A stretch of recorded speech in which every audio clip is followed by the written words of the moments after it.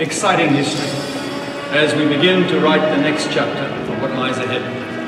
Many of you have had a bit of a journey getting here this evening, and so we are very glad to see you here, and we're glad you were able to navigate your way over to the Naval Yards safely.